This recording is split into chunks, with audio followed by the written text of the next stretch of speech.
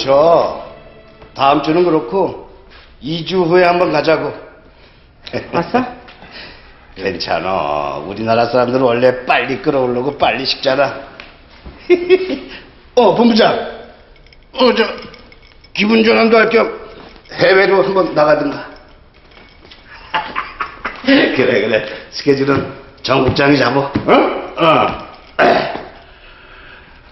수고 많았지? 아닙니다. 이리 와. 나하고 술이나 한잔해.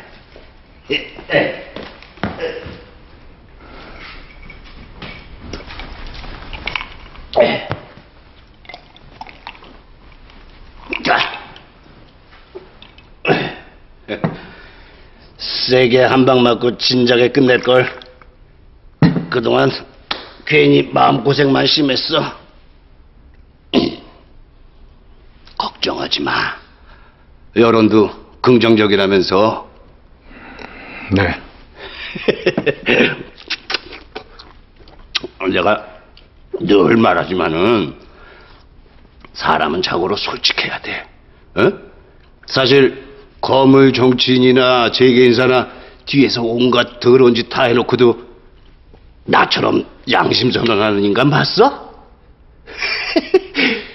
들키면은 그냥 조용히 숨어들었다가 나중에 이 슬그머니 다 컴백하잖아. 그만 일어나 보겠습니다. 솔직히 아버지까지 나서서 기자회견할 일도 아니지 뭐. 누구나 실수는 해. 단순한 사고였고. 아버님 실수로 사람이 죽었습니다. 뭐? 피해자 가족이 받은 상처는 어떤 것으로 치유될 수 없고요. 뭐 하자는 거야 너? 올라가 보겠습니다. 앉아. 거기 서. 너 내 말 안 들려? 진정하세요, 사장님. 당장 거기 서. 저 자식이 근데 회장님 서재에 계세요. 참으세요. 고고한 척 해봐야 다 똑같아. 네가 누구 덕분에 지검장 아들이 됐는데? 위로는 못할 망정 딸이건 사이건 하나같이 애비야. 아버지, 아버지, 아버지, 저 자식이 저한테 뭐라 그랬는지 아세요? 입장으로 왜 맨날 나한테만 그래요?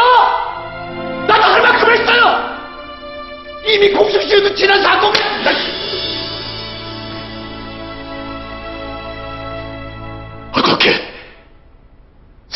그릇이 이것밖에 안 돼? 어떻게?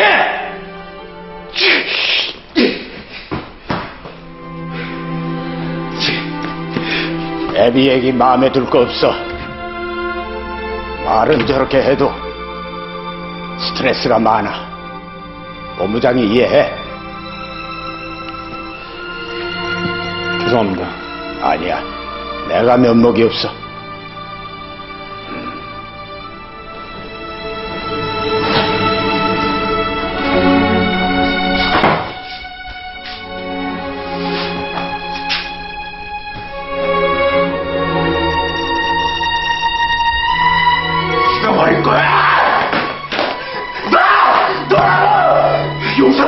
못해! 지금은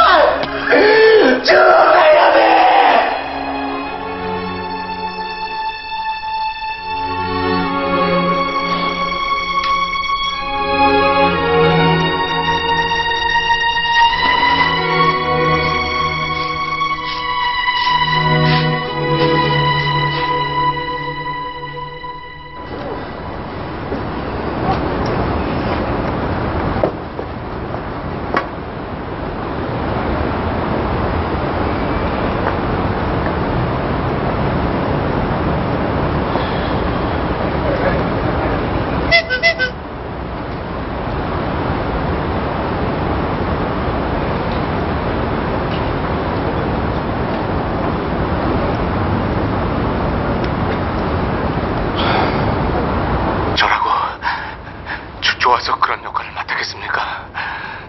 먹고 살려고 아둥바둥 하다 보니 어쩔 수 없이 오연식 지검장의 부탁을 들어준